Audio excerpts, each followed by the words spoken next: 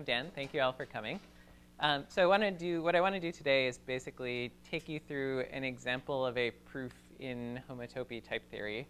And I will say that this is the first time that I've tried to explain this kind of proof, like the actual details of the proof, to people who don't have a background in type theory. So I spent a bunch of time kind of polishing the proof and getting it as simple and pretty as possible. And I think I can at least give you sort of a flavor for how it goes. But please like work with me, and when there are things that are unclear, like raise your hand and flag me down and tell me what to explain and stuff like that. Okay, so I want to say a little bit about why we do computer-checked proofs. So what does that mean? What it means is that I've typed in a proof and gotten what's called a proof assistant, which is a programming language for doing proofs, to believe my proof.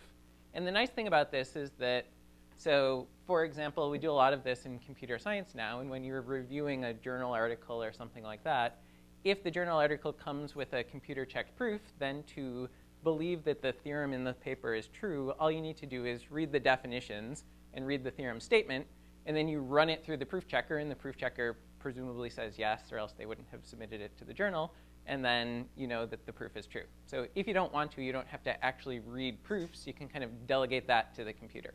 So that's one motivation. Of course, if you want to understand what's going on in the proof, then you still have to read it. But the other motivation is that you get to do what are called computer-assisted proofs, and we'll see a little bit of that today. You can kind of do your proof working with the computer and get some help from the computer in doing these proofs. And the other thing that I want to talk about today is sort of type theory, this notion of type theory as a logic for homotopy theory. So we're going to see some of the cool things that are going on in the special year this year about combinatorial definitions of paths and spaces and Vladimir's univalence axiom will come up in a key way. And the other thing that's kind of cool about this way of doing homotopy theory is that it's intrinsically computational. So we'll be doing a proof, but at the same time we'll be writing a program, and we can actually run that program and kind of compute some stuff, a little bit at least. Okay, how many people were here for Steve's talk last week? Just out of curiosity. Okay, good. Okay, that's a good sense. So for people who weren't here, the picture that I need to sketch for you just to get started is this idea of homotopy type theory. So what we're doing in the special year this year is exploiting a correspondence between type theory, which was invented by Martin-Löf in the 70s, and uh, homotopy theory and higher dimensional category theory. So there's this correspondence where these three things that were developed independently all turned out in the end to be the same thing, which is really cool and we're kind of getting this interplay where type theoretic ideas are helping us do homotopy theory, homotopy theoretic ideas are helping us do type theory better, and it's all very fun. So the main idea with the analogy is, in type theory, there are things called types, and under this analogy, a type corresponds to a topological space up to homotopy, or an infinity groupoid. So I've drawn this type A here as like this squiggly space. And then in type theory, there are things called terms, or which correspond to points of the space or objects of the groupoid. And there are things in type theory called, well, we used to think of them as equality proofs. And under this homotopy theoretic interpretation, equality proofs correspond to paths in the topological space, again up to homotopy, or morphisms in the higher dimensional groupoid. So for example, if I have points m and n here, then I can have a path alpha between them that's going to correspond to an equality proof in the type theory. And the type theory has the structure that you would expect for paths. For example, if there's a path alpha from m to n going that way, then there's a path alpha inverse. I'm going to draw it like that, but it's really just going back along alpha going that way. And if I put in another point p here, and a path beta like that, then in the type theory we'll have an operation of composition, which will say if I have beta, which goes from n to p, and alpha, which goes from m to n, then I can get a path beta compose alpha, which is going to go all the way from n to m to p. Okay?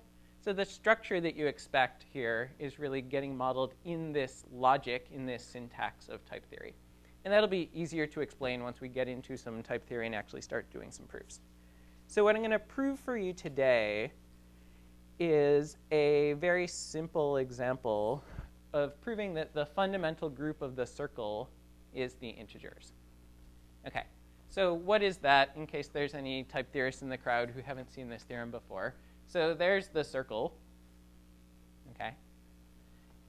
If I have a space, then I can pick a base point, let's call it base, and look at all of the paths from that base point to itself. Okay? So I can go once around the circle, or I could go around the circle twice, or I could go around the circle backwards, etc. And this notion of paths from a point back to itself forms a group. The group operation is, of course, composition, because if I have a path here and then another path, I can compose them and get another path, etc. Okay? So anyone want me to review fundamental groups?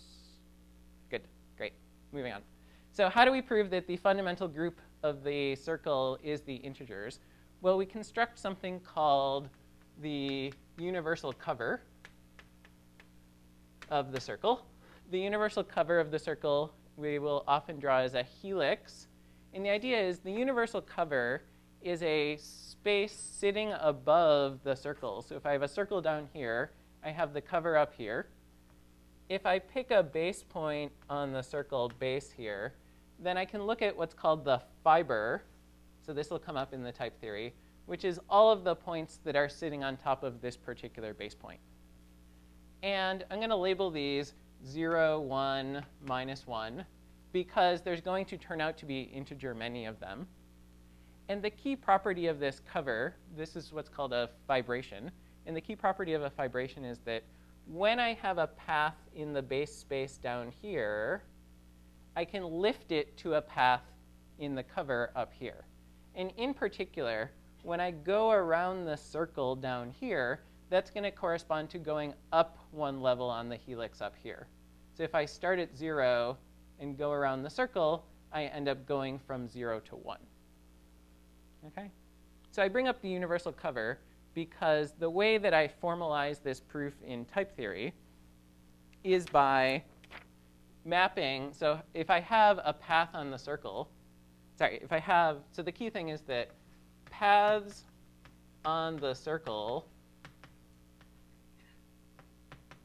are going to correspond to points in the cover. So when I have a point in the cover that is a number, n, I can send that to the path. If I call the path that goes all the way around the circle loop, then I can send it to the path loop to the n. Okay? And coming back, so I'm trying to show that this fundamental group of the circle is the integers. That is, there's a group isomorphism between the paths on the circle and the integers. When I'm coming back uh, what I want to do is sort of say loop to the n goes back to n.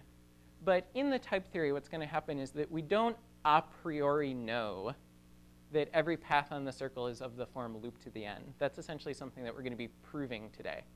So the way that you, in the type theory, uh, explain why you can get a map back is using this lifting property. So what you say is that any path down here lifts to a path up here, and it's via this lifting where we send alpha, any path on the circle, to the lift of alpha into the cover that's going to get us our map back there. Okay, so I'll get to that again in a little while, but I just wanted to broach that idea of universal cover, the helix, and the path lifting of paths in the base up into the cover. Yeah.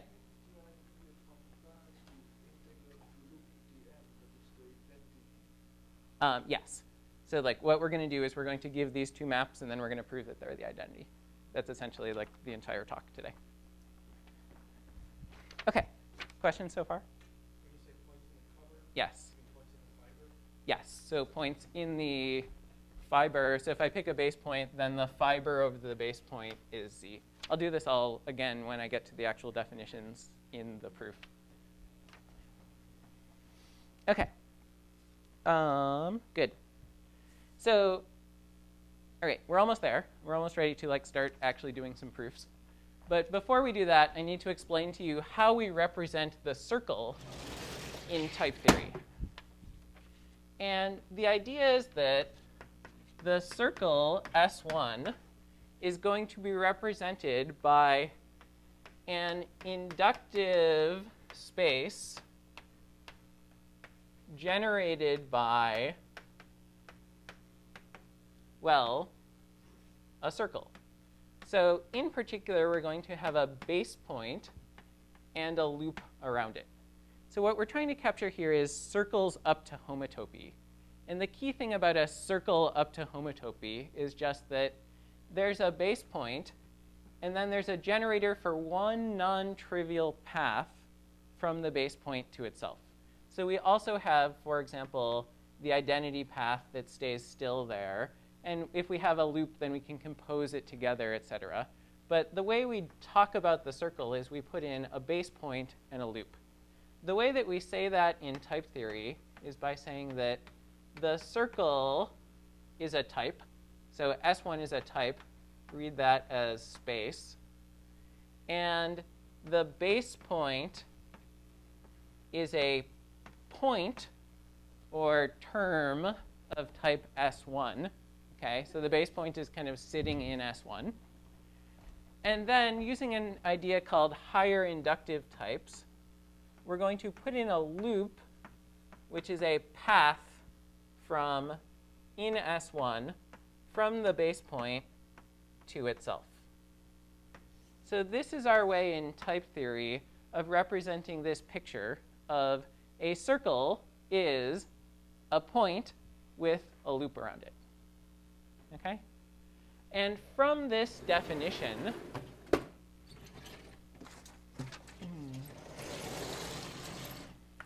you get an induction principle. You get an induction principle for circles. So, um, actually, let me come back to this in a little bit. I'll do that in a second.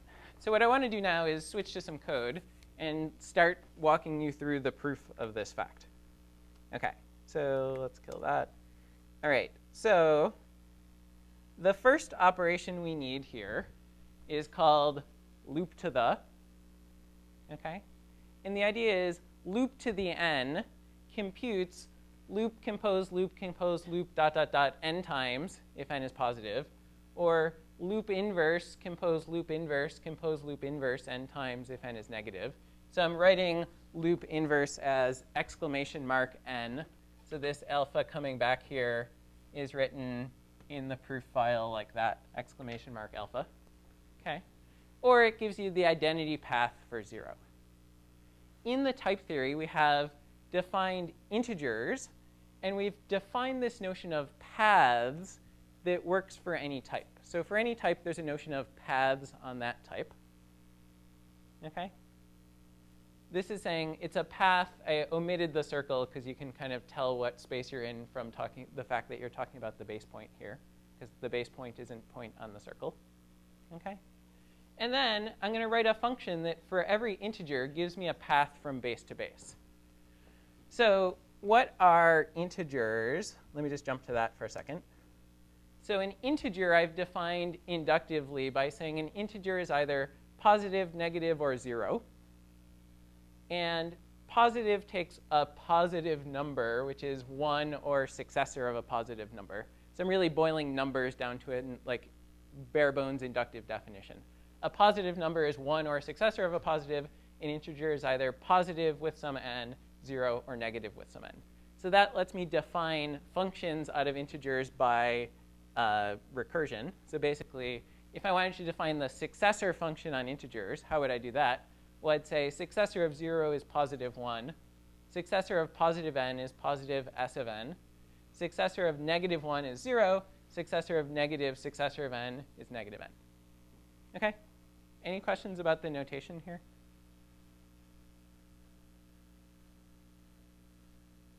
Good? Okay. Let's do something fun. So how do we define the function loop to the? Well, loop to the 0 is the identity, because there's no loops at all. Loop to the positive 1 is a loop. Loop to the positive successor of n is loop compose loop to the n. So I just inductively string on one more loop. Loop to the negative 1 is go counterclockwise.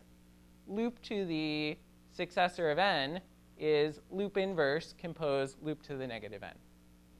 Okay? Any question about my inductive definition of loop to the here? Okay. Let's do a little proof. So what I've stated here is a theorem that, let me just explain the notation to you. For every n, which is an integer, there's a path from loop to the predecessor of n to loop inverse compose loop to the n. So what I'm proving here is a little bit of the fact that loop to the uh, preserves is a group homomorphism. So what I want to when I want to prove that loop to the is a group homomorphism, I need to show that it commutes with addition, right? It takes loop to the n plus m is the same as loop to the n compose loop to the m. What I'm doing here is just the, the little bit of that for n minus 1. Okay? And for this one example, I wanted to actually do the proof with you here so you can get a feel for what a computer-assisted proof looks like. So the way that you start is you've stated this theorem. You've said, here's the name of the theorem. Here's what it's proving. Questions about what it's proving? Okay, let's do the proof. So to do the proof, we say loop to the preserves pred of n, and then we get this little hole in the file here. And we can ask the proof assistant, which is Agda for this is the name of this proof assistant, what am I supposed to do in this case? And it says you're supposed to give a path from loop to the pred n to loop inverse compose loop to the n. Okay, how should we get started?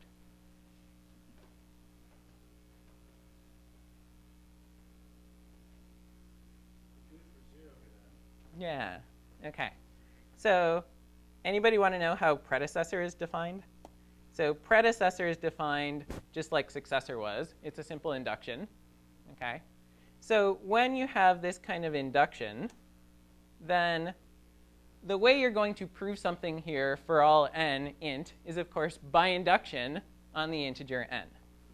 So we can ask the proof assistant, hey, let's break up into cases for n. And what it did here is said, OK, you've got three cases either n is positive, n is 0, or n is negative. Okay? So this is computer-assisted proof. We're using the computer to help us do the proof. And then in each of these cases, we can say, OK, what am I supposed to do now? So if I look at the 0 case, for example, it says what you need to do is give a path from loop inverse to loop inverse. Okay? That's a nice, easy goal, right? Because we need a path from something to itself. Okay. Why is that what we need to do? Well, if you look at the definition of pred, then loop to the pred n is going to be loop to the minus 1, which is, of course, loop inverse. And here we get bang loop compose loop to the n, where n in this case is 0. Okay, so that's the identity. So what we're doing here is getting the computer to do a little bit of simplification for us when we ask for what am I supposed to do in this case. It did that calculation using the definition of pred and of composition and of loop to the in order to get us a slightly simpler goal. Okay? And then what we can do is just fill in the identity and say, OK, great, that's the identity. OK, more cases. Which one do you want to do next? Pos. OK. So for pos, we can say, OK, what am I supposed to do? And it says what you need to do is loop to the pred pos n, bang, loop inverse, loop to the pos n. Okay? So it didn't actually simplify very much in this case. Why not? Well, the computation of pred on pos n depends on whether n is 1 or n is more than 1. Because for 1, we're going to get 0. And for more than 1, we're going to get something else. Okay? So what we need to do next is we need to look at n. So I'll just say, OK, I'd like to peek at n next. OK, give me two cases.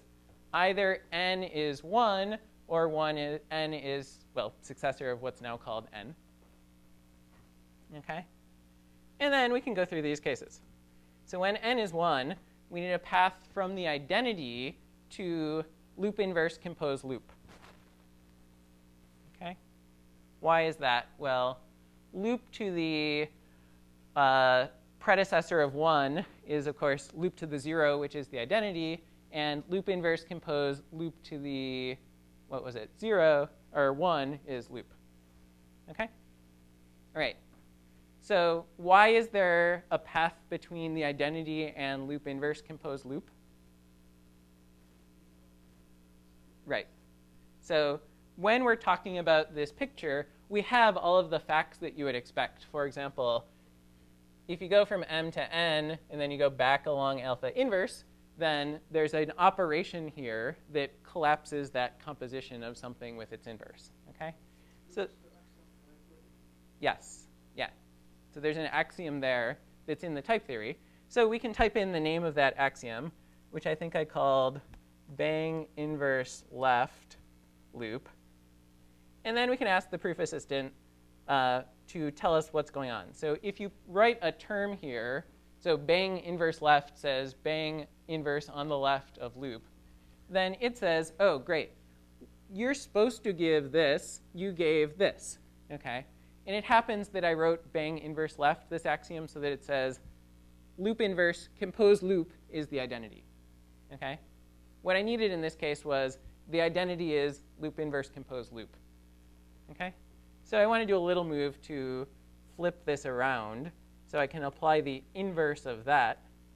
And then, okay, I have what I was looking for. And so I can say, okay, great. Okay? So now we just covered that case. We finished it. We're good.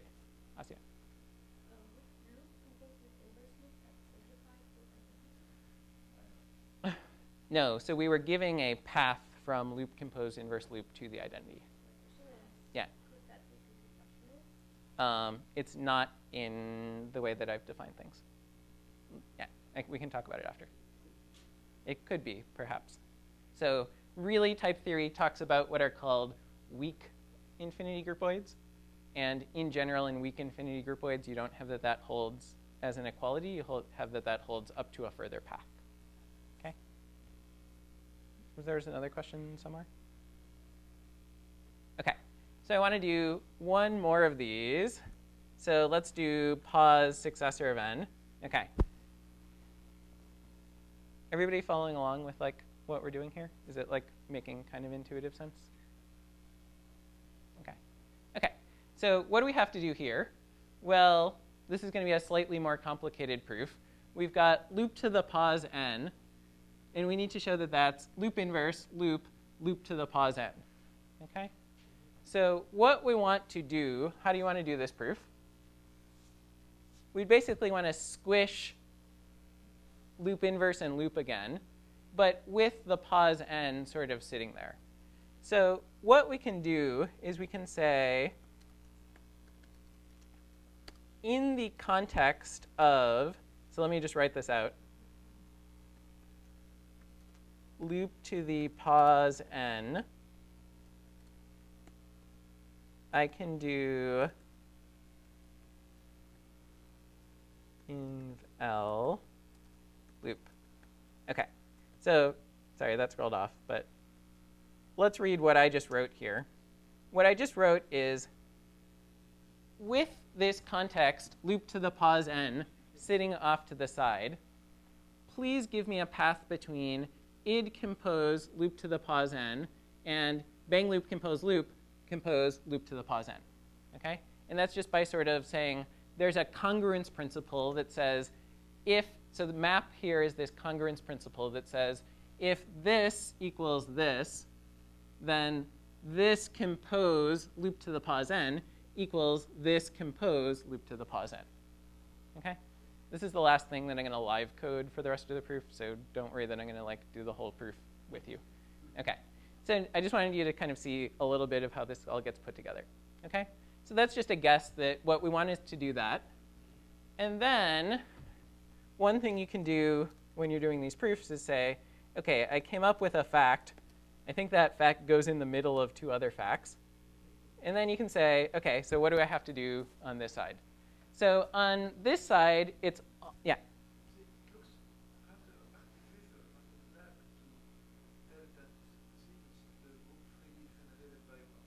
Yes.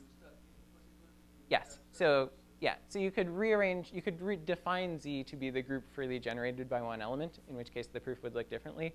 Um, in type theory, it's kind of, you often will start from these inductive structures and then build those universal properties for them. And I've chosen to do it in, that way because it's a little bit more type theoretic. Okay. So just to finish this off, on one side, we're almost right, except we're off by an associativity, okay? We've got bang loop compose loop here, and bang loop compose loop compose that here. So except for these parentheses, we've got the right thing. And there's an operation in the uh, proof theory that says that composition is associative, which we can apply to, let's see, bang loop, loop, and loop to the pos n. And I think we're going to need that backwards because of the way that I defined it. OK. And that's good. So we ended up off by a composition. Other than that, we were good. And then here, on the one side, we have loop to the pos n. On the other, we have the identity path compose loop to the pos n. So what we need here is that composition has the identity as its unit. Okay. Loop to the pos n. So this is saying that, uh, and we're going to flip that one around too. Okay. Good. So we have what we wanted. So this is just saying that if I go somewhere and then stay still there, that's the same as just going there somewhere. Okay? So I can fill the goal. Um, let's see. The neg one, in fact, simplifies out to being exactly the identity. Done. We've proved a theorem. Okay? So what I wanted to do was give you a flavor for what it looks like to prove theorems with this thing, which is basically, at the most basic level, you just kind of appeal to these axioms about the structure of paths and kind of chain them together. And there's ways to automate this and get the computer to do a whole lot of this reasoning for you. People have written tactics that just sort of do all this stuff for you. But it's good to write it out by hand at least a few times to sort of see what the moves are and how these things fit together. Okay. Mm-hmm.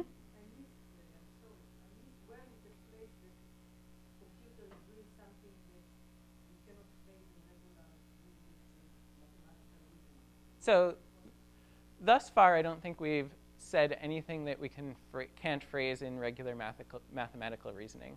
I think. Well, so basically, so far in this very basic example, the only aid we got was sort of simplifying definitions automatically. So you might have thought through why, when I do this case, it turns out to be that I can just give back the identity. But in fact, there's a little bit of work that you know, the computer did to simplify here. But really, when we talk about computer assisted, it's using these things called tactics, which sort of say, please find a proof according to these lemmas and things like that. And that's not something I'm going to talk about at all today. OK, good. So that's a flavor for how these kinds of proofs go. Questions?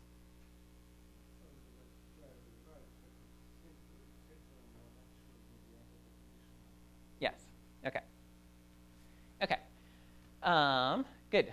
So now what I want to do is kind of go along at a little more high level and explain to you the rest of this proof that pi 1 of S1 is Z. So the first person to do this proof in type theory was Mike Shulman. And then after Mike did the proof, I kind of looked at it and came up with sort of a type theory-based simplification of it. And I'm going to show my version, which sort of shows off some features of the type theory. So there's going to be some kind of surprising stuff in the type theory that's going to come up in a little bit. Okay. So now let's get to the good part. So the first thing we did, so where are we in this picture? What we've done so far is just to give the map, oops, I erased it, that goes from a number to loop to the n. Now we want to come back. And the way that we come back is by defining the universal cover. So we want to define that helix thing over there in type theory. And the way that we define the helix in type theory is by using what's called circle recursion. So the idea with circle recursion is to define a function from S1 into A, where A is some type, it suffices to give a point A colon A and a path alpha from A to A in A. So, which is to say, if you want to define a map from S1 into some type A over here, what you have to do is you have to find a point and you have to find some loop in it. That's alpha. Okay? So we're defining the circle by this universal mapping property. We're saying that maps out of the circle into A correspond to points and paths. In particular, we can take A to be the space of types, that is the space of spaces, and by Voevodsky's univalence axiom, what the univalence axiom says is that in type, that is in this space of spaces, the paths, so it's a space of types, where paths are equivalences.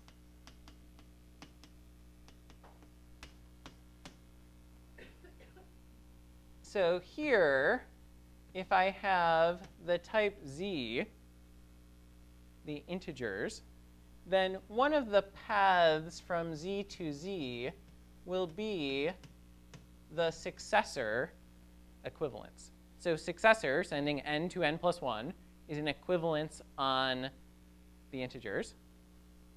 Therefore, that's a path in this space type of types like z up to isomorphism, up to equivalence.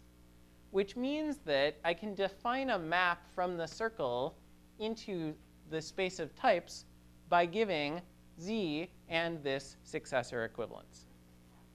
So successor here is like I'm kind of trying to draw this as a path in this space of types from z to itself.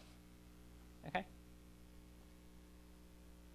So this is going to correspond to this universal cover. Okay? And the reason this corresponds to the universal cover is what we're saying is that the cover, what we're doing here, if we define cover, which goes from S1 into type, so we're going to represent the cover as what's called a fibration, which you can think of as a function from the circle into this space of types. And for any point, sorry, for any point x on the circle, cover of x will be a type. And what this is supposed to represent is the fiber over x. Okay? So in particular, what we'd like to say is that the fiber over the base point is the integers. That is, we have integer many points going up here. And when we go around the loop down here, that going around the loop once lifts to going up on the helix, which is to say, in the fiber over the base point, we're going from 0 to 1 when we go around the loop once. So the lift of going around the loop into this cover is exactly the successor function. Okay? And that's exactly what this line of code here says. So let's look at this line of code cover. So here is the definition of the universal cover in type theory. It's a function from S1 into the space of types up to equivalence. The cover of X is defined by S1 recursion. That is this idea that to give a map from the circle into a space, it suffices to find a point z and a loop successor. And the point we give is the integers because the fiber over each point is the integers. And the path we give, the isomorphism, the equivalence that lifts the loop, is successor. Okay? So what this line of code in the type theory is encoding is this idea of the universal cover. The key thing about the universal cover is what I was just saying. So here's a fact about the universal cover. Transport here is the idea of lifting. So let's look at transport.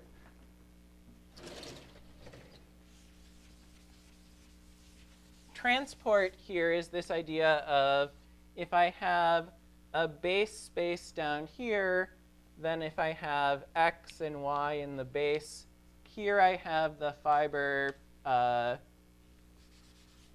cover of y. Here I have the fiber cover of x. And what transport is saying is that if I have a path down here, let's call it alpha, so alpha is a path from x to y, then what I get is a function here, transport by alpha with the cover, which goes from the fiber over x to the fiber over y. So transport is, in the type theory, the analog of the path lifting property for a fibration, the thing that says that if I have a map in the base, I get a map between fibers.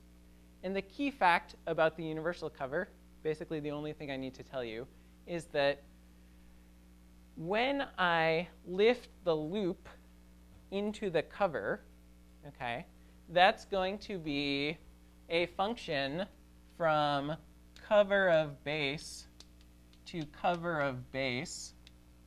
We know that cover of base is z. We know that cover of base is z. And that function that we get by transporting in the cover, the loop, is going to be the successor function. Okay? And then there's a little proof here that does an equational deduction of this fact from the axioms that we already have in the type theory. So I'm not going to go through that.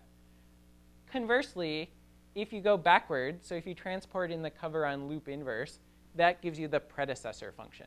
So when I transport on, if I take the path that starts here and goes around this way, then I'm going to go down one here and get the predecessor function. Yeah.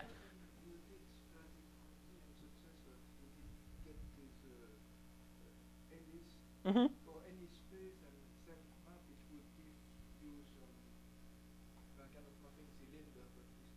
Yes, yeah. So like there are ways to do this proof in more generality. I thought that no, no, for yeah. Yes, yes, yes. Yeah. The type of suck. Suck is just a function from int to int that does successor. Standard function, yeah. Yeah. Okay. Good.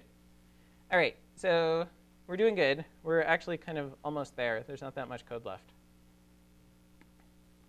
a lot of this is kind of setting up the definitions, and then once you've done that, you're pretty good. Okay, so now this line here, oops, this line here gives a function encode. And the idea with encode is that I'm thinking of the points of the cover as sort of codes for the paths in the space. So the number n is a code for going around the loop n times, okay? And what I'm defining here is the thing that's going to be inverse to loop to the, that function loop to the that we looked at before, which is how I send a path between base and base to an integer, okay? How do I take my path and send it to an integer? Well, what I'm going to do I don't have any ways of taking apart paths from base to base. I don't have any induction principles for them yet, any ways of decomposing them. So um, that's essentially what we're doing today. So the way that I get one of those is by using transport at the cover to determine one. So what I do is I say, if you give me any alpha here, which is a path from base to base, then what I do is I send alpha up into a path in the cover by this transport notion, okay? And then that's going to determine a, a function from cover of base to cover of x. So here, this type here says, for any x on the circle, if I have a path from base to x, then I get an element of the cover of x. The way that I construct that element is by taking transport at the cover with alpha. So what is that? That's saying take my winding around here, alpha, and send it to the thing up here that goes up or down by as many times as alpha goes up or down by. Okay? And that's going to be a function from integers to integers because I haven't said which point in the cover, in the fiber over the base I start at. So to read off how many times I went around, I send go around and around and around and around to the function that goes up or down by that many times, and then I started off at zero. Okay?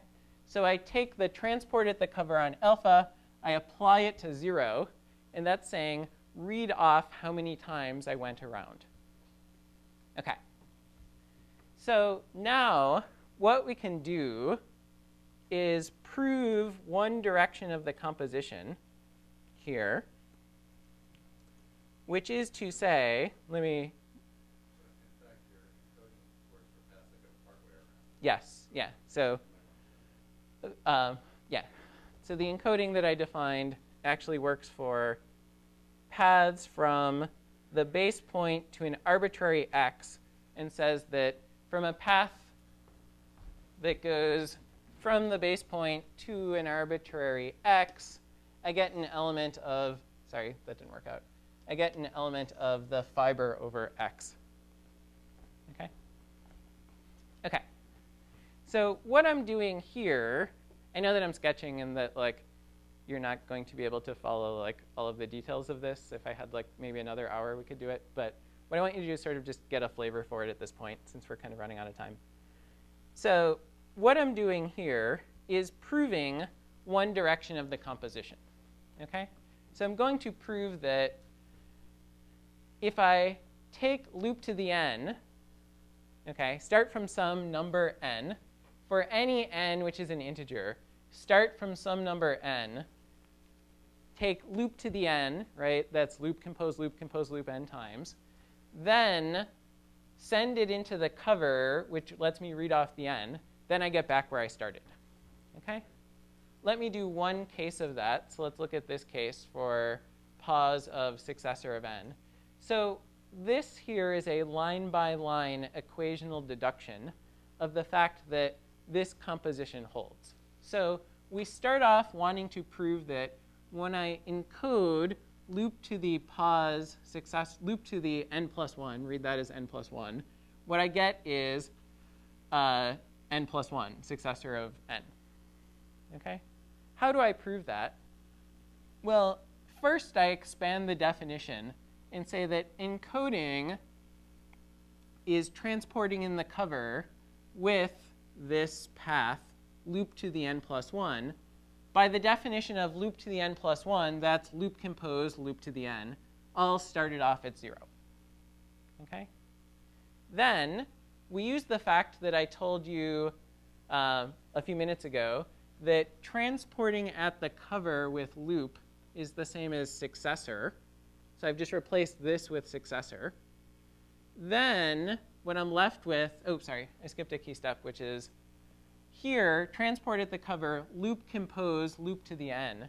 So we know that this process of lifting a path into the cover is in fact functorial.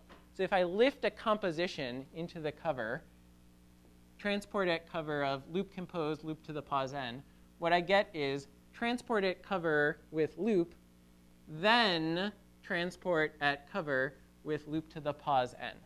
Okay? So I'm applying functoriality or compositionality of this lifting to get myself into a spot where I can replace this with successor and replace this then with, uh, once I contract the definition, it's encode of loop to the n, and by my inductive hypothesis, I get encode loop to the n back to n. Okay? So the key steps in this proof are really simple. It's just apply functoriality, apply the fact that the cover is defined by saying when I transport in the cover, I get successor, and then apply the inductive hypothesis. So what I get is a little equational deduction of the fact that this composition works out. Okay? Good? Yes. Yes. So this equational deduction is really deducing a path, but I'm going to gloss that distinction for now. Okay. So now we're like three quarters of the way there, right? We've got the function that given a number computes loop to the n. We've got its postulated inverse, which is determined by mapping into the cover using univalence. We've shown that one composition is the identity. Okay. And we've got 12 minutes, which is good. So the next part of this is really not very much code, but uses some cool type theoretic ideas. Okay? So I don't entirely understand how this type theoretic proof corresponds to a traditional proof at this point. Okay?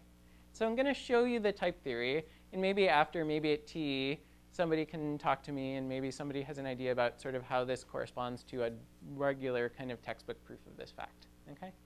So the way that we're going to do the other direction of the composition is a little bit tricky. Sorry, let me get the code going. Because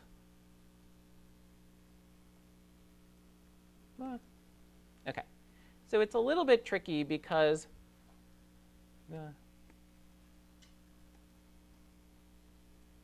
uh, okay, so what we would like to do is prove that if you give me any p, oh, sorry, the, okay. What we would like to do is prove that if you give me any path, okay, then when I take that path, read off a number from it, and then send it back to a number, I get the same result. Okay? The reason that's hard is that we don't have any ways of reasoning about paths directly yet. Okay? We can't sort of take a path apart and do an induction on it. That's exactly what we're trying to prove today. So we need to exploit some things that are in the type theory in order to do this proof. Okay? We're going to essentially implement the fact that every path from base to base is of the form loop to the n using some ingredients that are already in the type theory. Okay? And there's two ingredients that we need in order to do this. And those ingredients are called circle induction, number one, and path induction, number two. Okay? So we're using induction for circles and induction for paths in order to prove this result. So what is circle induction? Mm-hmm. I'm going to tell you sort of in type theoretic terms because I don't really have a better story for it at this point. The idea with circle induction is that to define a function that for every point on the circle gives you p of x, it suffices to give a term b prime that is in p of base. So for every x, in, which is a point of S1 here, p of x is a type, okay? And it suffices to give a point in the base. So this is kind of like an induction principle saying that for every, to do something for every point on the circle, it suffices to do something for the base. Because the way that we define things was to say that there's only one point on the circle, base, okay? But it's not quite that easy because functions are continuous or functorial inherently in the theory. So we can't just sort of choppily do something for every point in the type. We have to do it continuously. And in this case, what we have to do is make sure this works continuously in the loop, okay? So what we have to say is that the choice of b prime is continuous in going around the loop where that's in the sense of p, which is the thing we're trying to map into here. Okay? And that's something that's very precise in the type theory, but let me just show you one example. So what we're doing here with this function decode is to give a map that, remember, loop to the was a map from the cover of the base to paths from the base to the base, right? Loop to the took an integer and gave you an element, a path from the base to the base. I'd now like to show that this process extends to a function that works for any point on the circle. Okay? The way that I do that is by this notion of circle induction.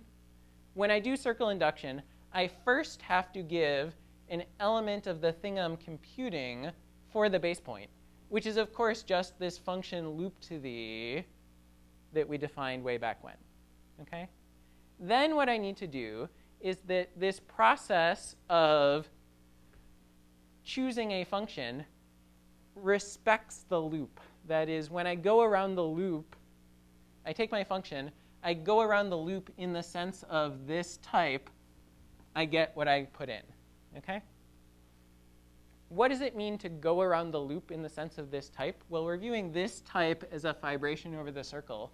And when I transport into this type, the key fact that I have to prove, there's like some definition chugging, blah, blah, blah, blah, blah, is that if I take, so start with that, if I take loop compose, to show that this whole thing is sort of continuous or functorial in the loop, what I need to do is show that if I take loop compose loop to the pred n, then I get loop to the n because when I transport in the cover backwards, I get predecessor, and when I transport in, sorry, it's not on the screen anymore, the path space here, I get post-composition. So just like, believe me that this is the obligation you get.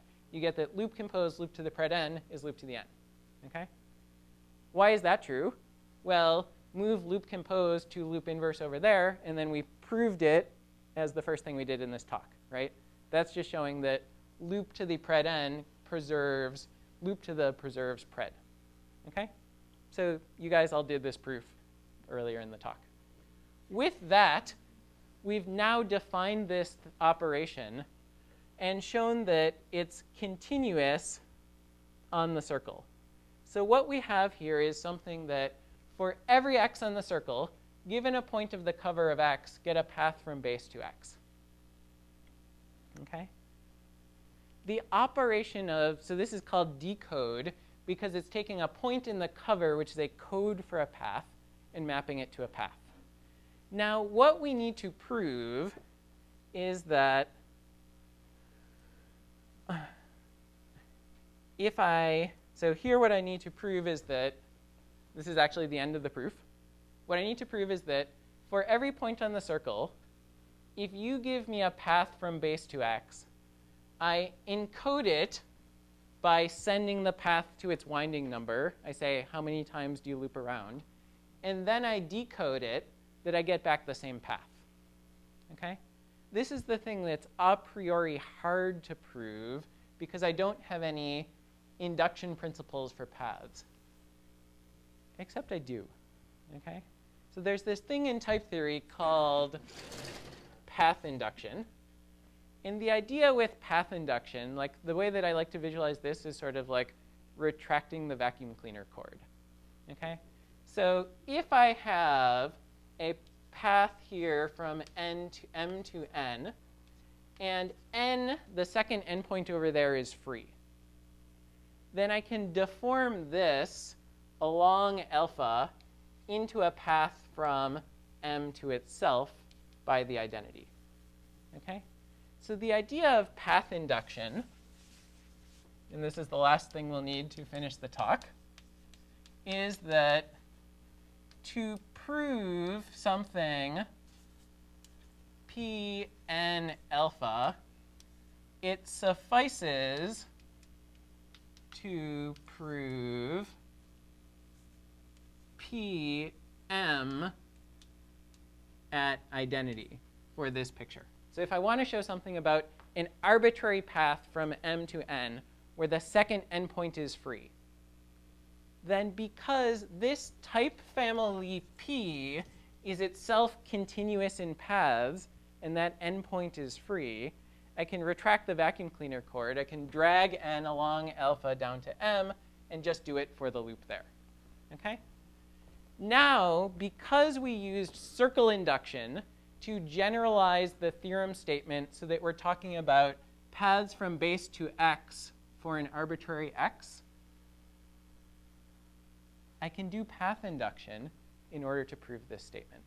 I can contract my alpha, which is an arbitrary path from base to x, down to the reflexivity path. So that's exactly what this code says. So what it says is I'm going to do path induction on alpha. I contract it down to reflexivity. And then what my proof assistant tells me is that all I need to do is check this theorem for the identity path. Okay? And then it turns out that when I check it for the identity path, what do we have to do? We just have to give a path from the identity path to the identity path because decoding, encoding the identity, encoding the identity sends it to zero, decoding zero gives you back the identity. Okay, we're done. So we fill, and we're done. Okay?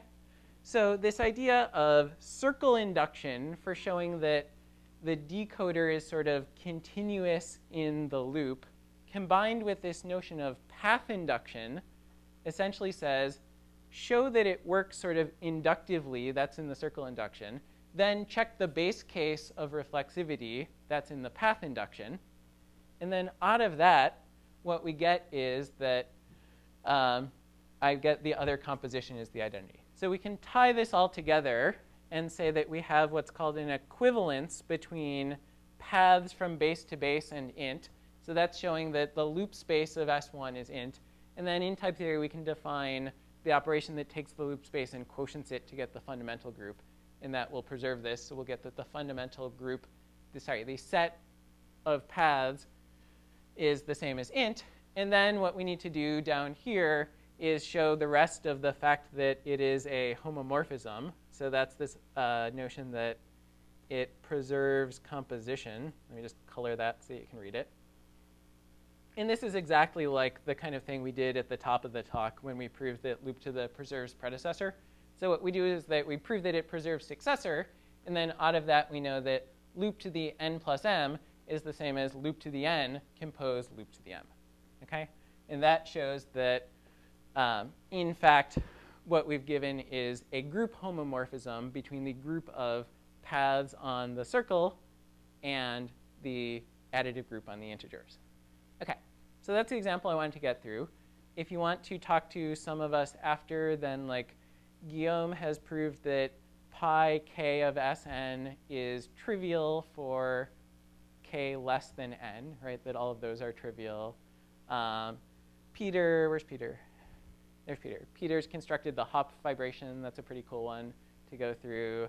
Um, what else? We've shown that this proof for the circle actually works for a bouquet of circles. So you can get the bouquet of circles is the same as the free group on n generators with essentially the same kind of proof. Okay, and I'd be happy to talk to people about sort of how to work with type theory and how these type theoretic proof works after the talk. Okay, thank you for listening. Mm.